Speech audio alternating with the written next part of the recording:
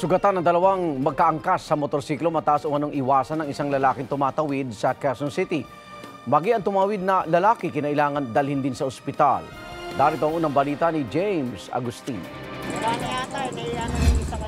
Nakahiga sa kalsada ang babaeng ito habang nakaupo sa tabi niya ang kasamang lalaki nang respondihan ng mga taga-barangay sa IBP Road, Quezon City pasado alas 11 kagabi. May mga sugat sa iba't ibang bahagi ng katawan ng dalawa. Tumilapon pala sila mula sa sinasakyang motorsiklo.